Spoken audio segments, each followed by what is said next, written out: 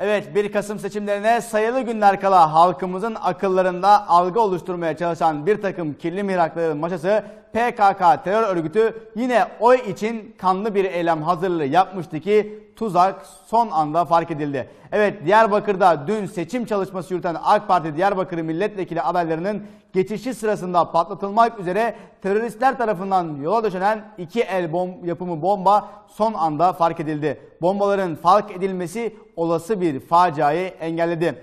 Evet kim bilir eğer bu bombalı eylem gerçekleşmiş olsaydı bu sefer de hükümet oy için kendi adaylarını katletti diyerek PKK'nın bir takım siyasi uzantıları yüzsüzlüklerini devam ettireceklerdi. Şimdi haberimize geçelim.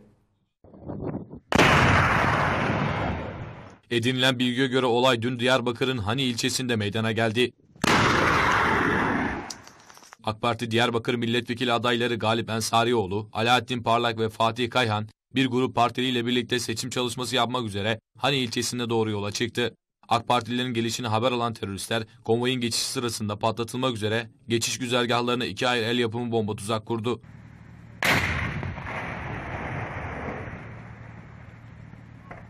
Teröristlerin Akstalkan ve Mıdırbaş köyleri arasında kurdukları ilk tuzağını burada kontrol yapan geçici köy korucuları fark etti. Korucuların durumu bildirmesi üzerine olay yerine gelen jandarma ekipleri AK Partilerin içerisinde bulunduğu araçları henüz olay yerine varmadan durdurarak çevrede geniş güvenlik önlemleri aldı. Daha sonra bomba kontrolü bir şekilde patlatıldı. Patlamanın etkisiyle yolda oluşan çukur iki kamyon mucur dökülerek kapatılabildi.